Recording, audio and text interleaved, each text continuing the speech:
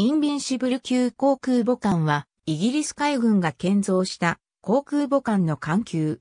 公式の艦首故障は CVS とされており、また、ジェーン海軍年間では、軽空母と類別された。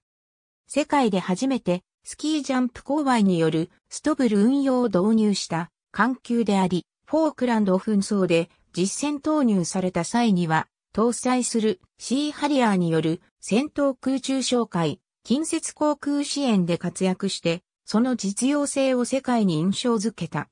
ソ連海軍のキエフ級航空母艦とともに、現代的な軽空母の先駆者として高く評価されている。1950年代より、イギリス海軍は新しいヘリ空母についての検討を開始した。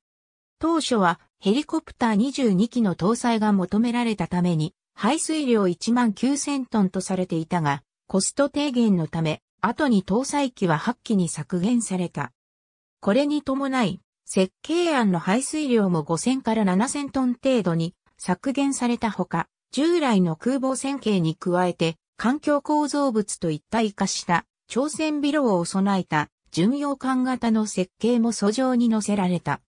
これらの検討は1959年から1960年頃には、おおむね完了しており、これを踏まえて、1961年5月、海軍本部は国防省に対し護衛巡洋艦を提案した。これは基準排水量13,500トン、シースラグ艦対空ミサイルや機関設備を備えるほか、正規空母を固定翼機の運用に集中させられるように、シーキング哨戒ヘリコプター9機の運用も分担することになっていた。その後、ポラリス搭載潜水艦の購入予算を確保するため、護衛巡洋艦計画は一時的に棚上げされて、まずはタイガー級防空巡洋艦をヘリコプター巡洋艦として改装することになった。またこれとは別に、1963年7月30日、イギリス政府は空母アークロイヤル及びビクトリアスの代替となる新しい航空母艦の建造計画を発表した。1964年度の国防白書では、近代化改修された空母イーグルよりわずかに大きく、1970年代初頭より就役する予定とされており、設計はクバ -019 と名付けられた。クバ -019 の設計は1966年1月27日に完了したが、その後1ヶ月もしないうちに1966年度国防白書によって計画そのものがキャンセルされた。クバ -019 の計画中止後も護衛巡洋艦の計画は生き残ったが、艦隊から正規空母が消滅することになったことに伴い、設計は全面的に改定された。1967年12月には爆量要求事項が作成されたが、航空運用能力は強化され、軽空母に近いサイズまで大型化した。この計画は、式巡洋艦と称されるようになっており、1968年1月には3つの設計案が作成された。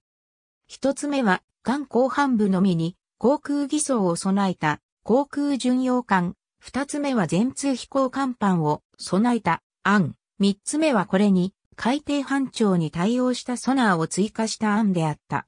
参謀部は3つ目の設計を採択し、1970年末には概略設計が完了した。一方、当時イギリスでは垂直離着陸機の開発が進められており、1966年にはイギリス空軍向けの実用機としてホーカーシドレーハリアーが初飛行し、1969年には引き渡しを受けていた。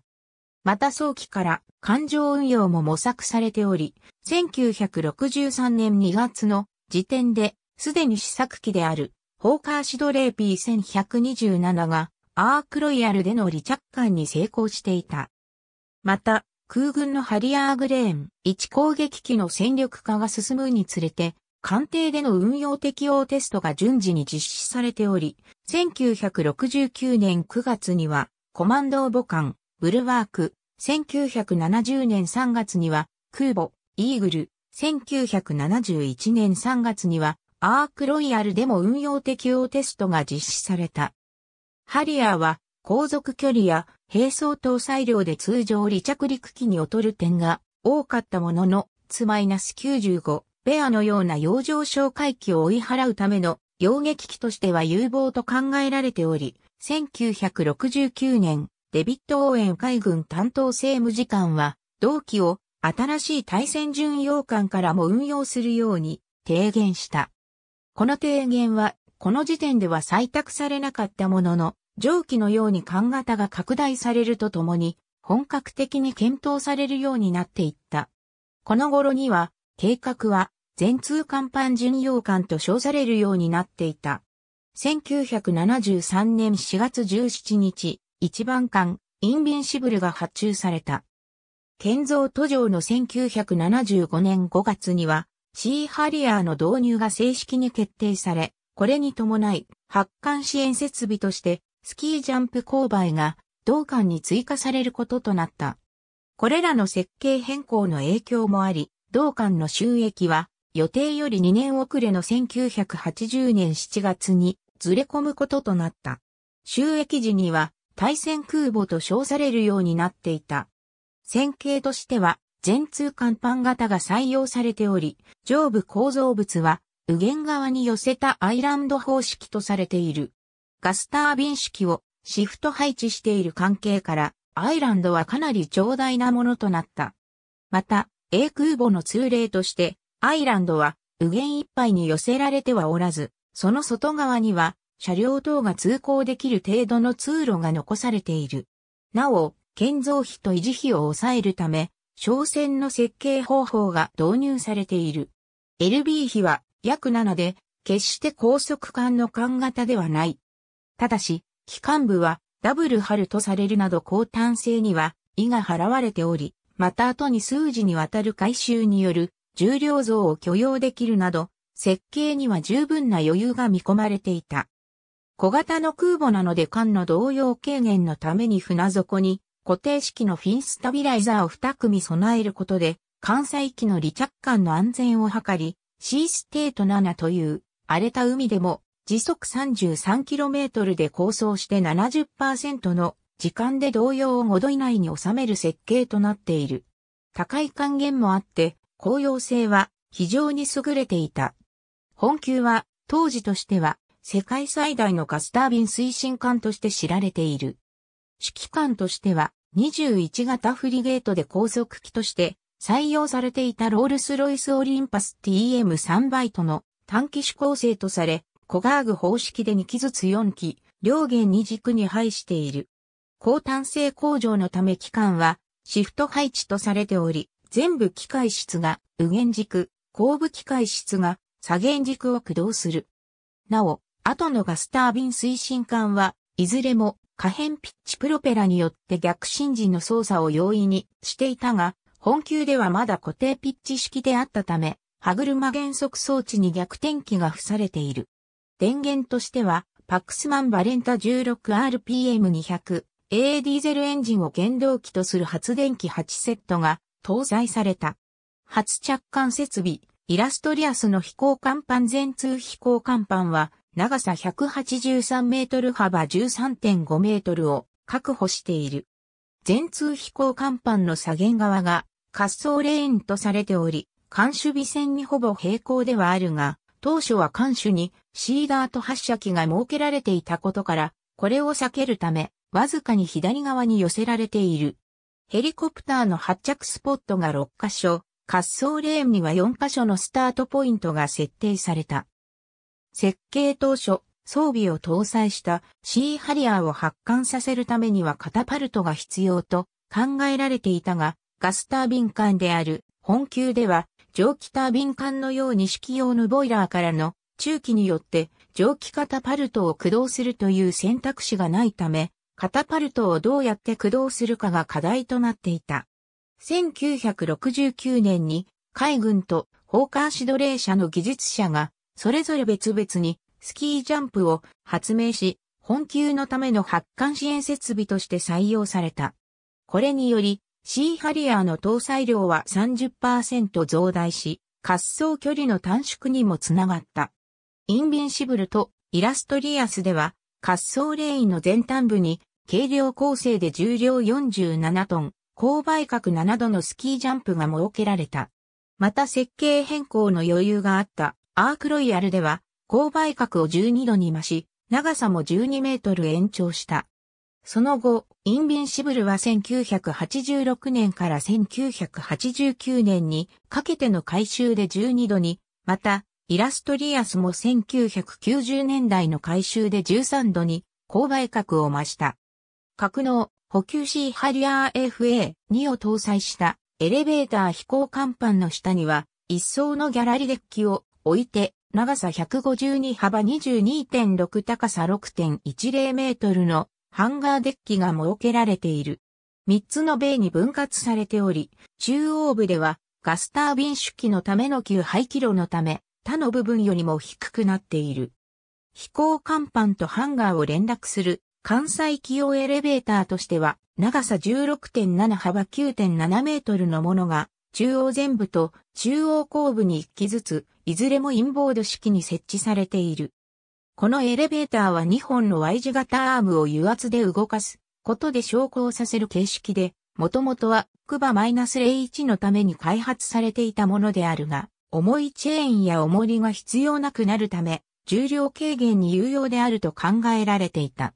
ストラチャン変焦車製のチェーン式のエレベーターへの換装も計画されたが、予算面の問題から実現しなかった。平時の搭載機は C ハリアー FRS、1艦上戦闘機5機と C キングハズ、5紹介ヘリコプター10機が標準的な構成とされていたが、インビンシブルがフォークランド紛争に派遣された際には、シーハリアー FRS18 機とシーキングハズ51機が展開した。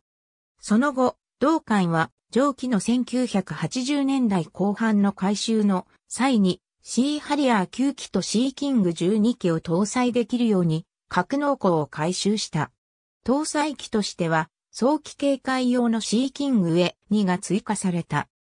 また1990年代中盤には、シーダート発射機の撤去に伴い、飛行甲板は23-18メートル拡大されたほか、統合運用に対応して空軍のハリアー2攻撃機を整備するための設備が設置され、最大で24機までの航空機を搭載できるようになった。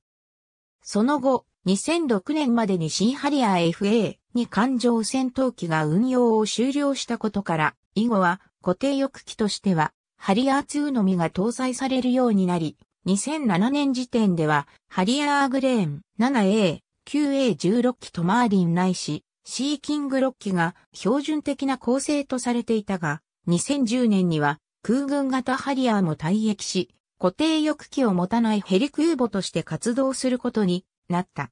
航空燃料としては、ジェット燃料を25万エガロン搭載できた。また航空機の搭載兵装として Wii177 核爆弾の搭載にも対応していた。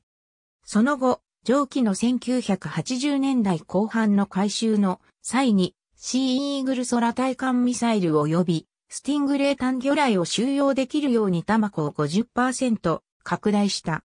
シーダート発射機とブラストシールド元来のコンセプトが巡洋艦であったこともあり、本級は航空母艦としては、かなり強力な股間戦闘機能を備えている。飛行甲板全端の艦首には、当時の主力防空艦であった42型駆逐艦と、同型のシーダーと艦隊防空ミサイルの連装発射機が搭載されており、バックブラストが飛行甲板上に影響を与えないよう、その後方には大型のシールドが設置された。ただし後に航空偽装拡張のためこれらのシーダートの運用設備は撤去された。また当初の計画では、エグゾセ艦隊艦ミサイル4発の搭載も検討されていたが、これは断念された。本級は当初 CIWS を搭載していなかったが、フォークランド紛争の戦訓から当時偽装の最終段階にあったイラストリアスは急遽アメリカから提供されたファランクスを装備した。当初の搭載数は2機であったが後に3機に増備され、また1.2番艦も同様の容量で搭載した後、より大口径のゴールキーパーに換装された。1980年6月、インビンシブル竣工、竣工当初は退役したコマンド母艦、ブルワークとアルビオンの代替も兼ねていたため、ヘリコプター揚陸艦、オーシャンの収益までは、海兵隊一個大隊と装備をヘリコプターで揚陸する任務も与えられていた。